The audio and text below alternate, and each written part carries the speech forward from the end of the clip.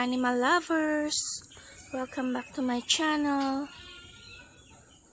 This morning, samahan niyo po kong palabasin at pakainin ng aking mga babies at papakainin ko po sila ng tamales. Yung pong Mexican na specialty nila ng binalot po ng giniling na mais at nakarap po siya ng yung yung husband tawag doon. Basta yung sa ano po ng mais. Ayan, papakainin po natin sila. Pero bago po yon palabasin po muna natin itong mga maiingay dito. Kanina pa po ito nag-iingay. Yan. Yung ginis ko po, kanina pa nag-iingay. Ayan, kalilinis ko lang ng kanilang kulungan. Ayan.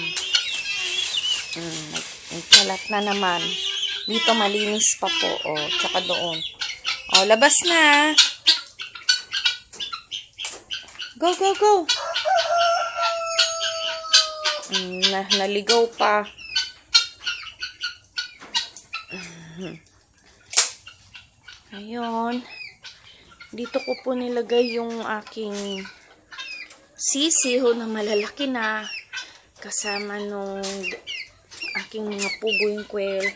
Yung quail ko po ay dalawa na lang. Namatay po yung isa. Kaya dalawa na lang sila. At ito po yung sisiyo na nakikita nyo palagi sa aking video. Malalaki na po sila sineperate ko na po sila sa kanilang nanay. Ayan. Pero nilagay ko po muna sila dito para safe po sila. Hindi po sila kainin or katayin ng mga wild animals po dito sa amin. Pero bago ko po pakainin yung mga malalaki, bibigyan ko po muna ang aking sisiw ng kanin. Yan po ang paborito nila, kanin. Bigyan po natin sila ng kanin. Ayan.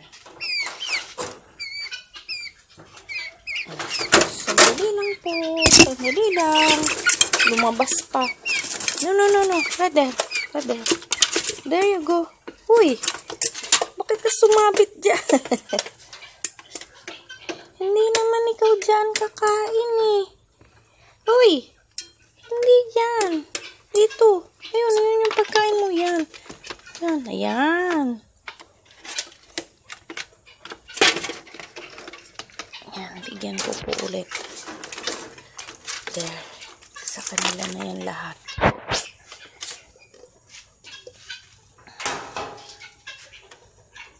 Yung quail feeds po ang gusto niya nila.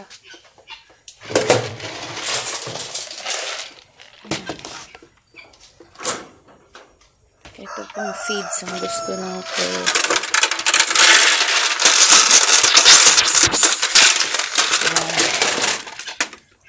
Ang aking dalawang pugo.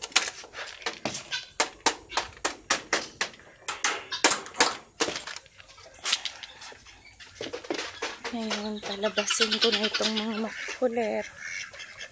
Ito po yung daki. Dito ko po nilagay sila lahat. Ay, nakalimutan ko pong pakita sa inyo yung dalawang naglilindin. Good morning, Ducky! Good morning, babies! Yan, yung dalawa pong magkaibang kulay na malalaki. Yan po ay dalawang babae. At yung pong nauna, yung white and black or brown na apat. Puro lalaki po yun. Yun, yung dalawang yon pupunta na sa kanilang pwesto at mangingitlog na. At ito naman po yung yung sinasabi ko po sa inyong tamale na Mexican food. Yan po, bago ko po palabasin yung mga manok is ire-ready ko po muna to kasi magkakagulo po yan sila.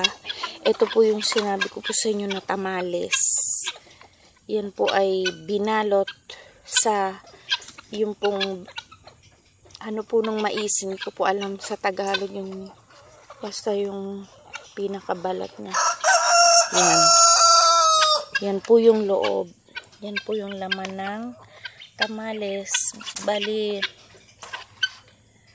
dinurog, dinurog yan na mais.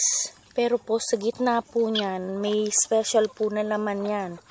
Either pork, chicken, or beef yata yung iba. Pero ito po ay pork. Yan, pork po ang laman nito. Masarap po ito pag ininit nyo. Ayan, ayan po yung laman. Ayan, ganyan po. Yan po ay tamalis nila dito. Specialty po yan ng mga Spanish, ng mga Mexican. Yan. May mga tinda-tinda po yan dito sa sa mga groceries. At syempre sa mga restaurants, yan po ay yan, nabibili. Paborito po ito ng aking mga manok. Ito po lamang ay hindi po namin nakain. Nakalimutan pong initin. Pero, masarap naman po siya. Yan, ito po yung apat na mga iingay na gini.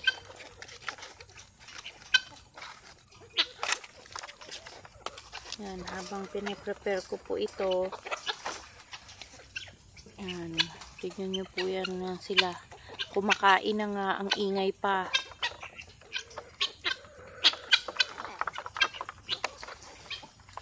At yung pong mga yon, tignan nyo po, nagkakagulo na. Gusto nang lumabas. Nagmamadali na sila. Ayan.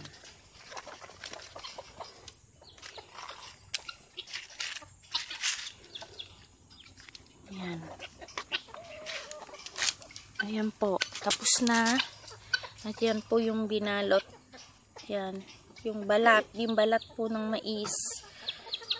Yan. Niluto po muna nila yan. Or pinainit yata para lumambot. Tapos yan po yung pinangbalot nito. Yan. Ngayon po, papalabasin ko na yung mga makukulit. Yan. Kanina pa yan sila nagtatawag. Are you ready to get out? I don't think so. Alright, ready? Set. Go! Mm, yun, ayun.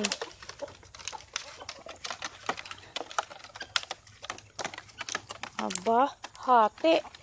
Yung iba gusto ng tamali, yung iba feeds. Yan. Mamaya ubus yan tamalis na yan. Iba tamali, tamales. Pero tamales po ang tawag dyan. Pero ang minsan naririnig ko tamali, tamali. Pero tamales, tamales po ang ang correct ang correct na word, tamales.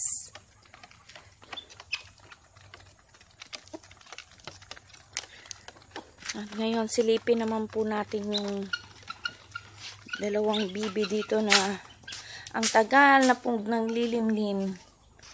Ewan ko po kung mapipisa pa ba yung kanilang ayun nandito sa bukana. Hello babies.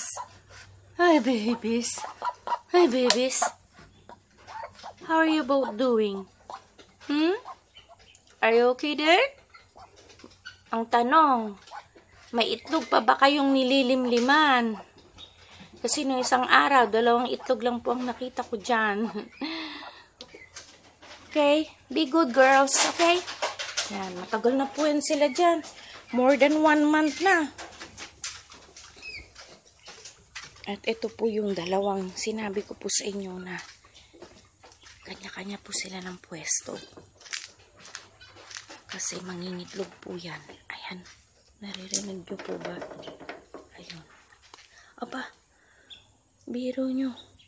Apat yung lalagyanan ng lilimliman. Pero, silang dalawa, nandyan sa loob. Ayan. At bakit kayo magkasama dyan? Marami namang lalagyanan. Nakita niyo po dalawa. Ha? Maraming iba pang yan o, ayan pa o, ito pa o. Nagsiksikan kayo dyan. Ha? Kayong dalawa talaga. Are you okay? Okay.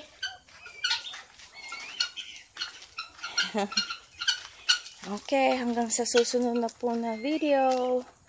At papakainin ko pa po si Wendy.